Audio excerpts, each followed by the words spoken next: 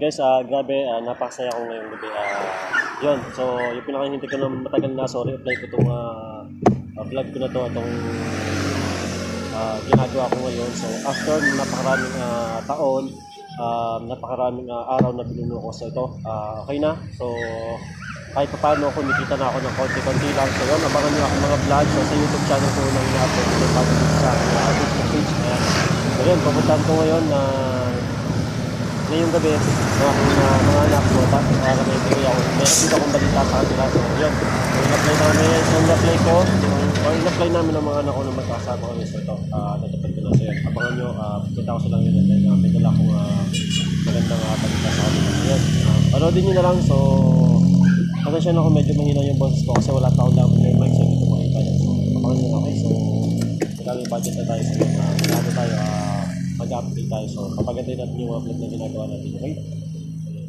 So, yun, salamat muli nga pala sa mga support sa akin, sa tumulong sa akin, uh, dito sa, unang-una doon sa mga viewers ko, fan, uh, subscribers ko, nung nag-umpisa pala ko din, mga followers ko na yun, viewers ko, sa San Antonio, uh, hindi, mga taga kung saan na kayong uh, sulok ng mundo, yung unang mga support sa akin, ako nagpapakilala ng government uh, dito sa bayan namin, sa San Antonio. And then of course, uh, mga customer ko, uh, na nag-umpisa ako, uh, and then uh, sa bayan ng San Antonio, um, sa Chaong, uh, Rosario, and then sa mga Tagalipa. Ayan, so okay. Ayan, so punta na ako guys, uh, bibiyahe na ako. Uh, hindi pala ako narinig ako ng maayos na. So, baka nyo lang yung mga susunod pang vlogs. Ayan, so mas makapadalas yung mga vlogs ko kasi nga, ayun, uh, kumbaga double purpose na uh, habang nagbablog ako, nagla-live stream ako minsan na shop ako or wala ako sa shop. Ayan, so uh, sabay-sabay na may kita. So, wala akong kita sa shops, at least pag nagmalis ako, pag nag-vlog ako, so may kita naman ako kahit konti. Ayan. Uh, medyo gabi na, so may pa ako gagawin. Uh, layo na pang Wala pang kapag so oras na. Uh, uh, 6.30 na. So, dito natin sa July, uh, 21. Parang ito,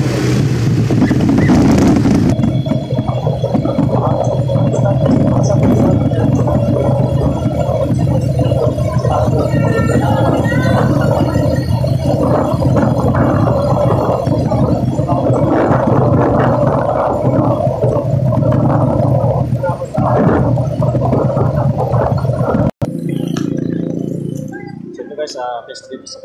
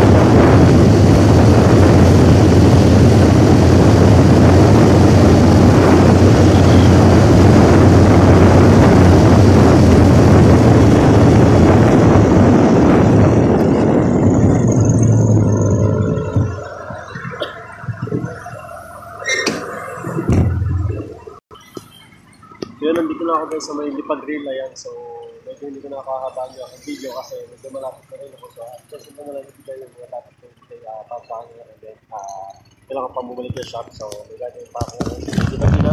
Ang oras natin na uh, 7.20 na ng gabi. So, medyo mabagal na tayo magpatakbo yan kasi for security naman natin. So, paano nyo guys, so, panoodin nyo ako ng uh, video ko na Malapit din yung kasi kailangan ngayon din mga na Malapit na malapit pa ako guys. So, sakat ko na yung video uh, abang nyo sa mga.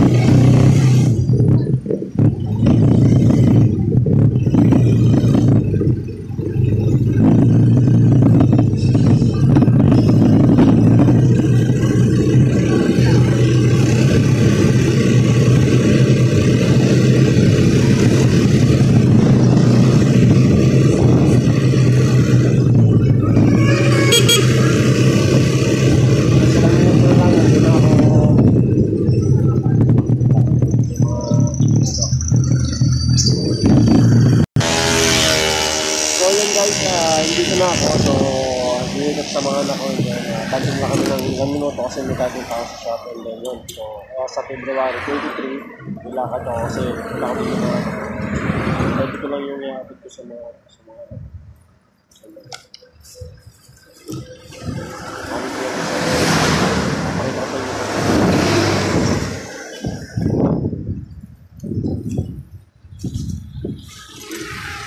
Eh, eh. So guys, yung ibigay ko sana ko yan. Oo, kung mababasa nyo yan. So,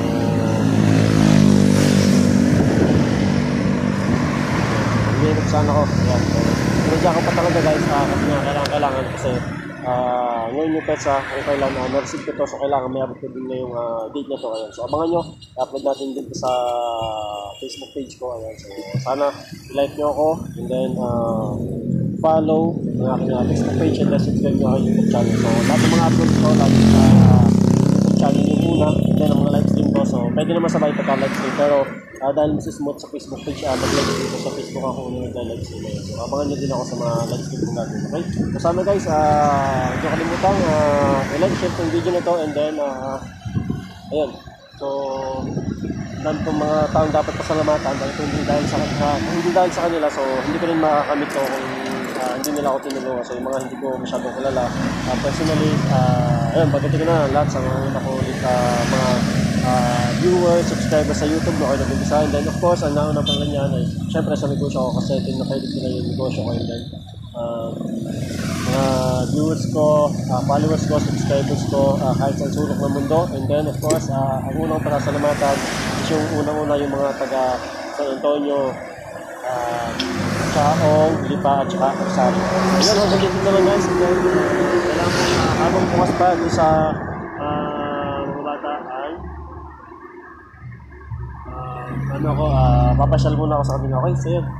Uh, punta na muna ako guys, habang may oras pa.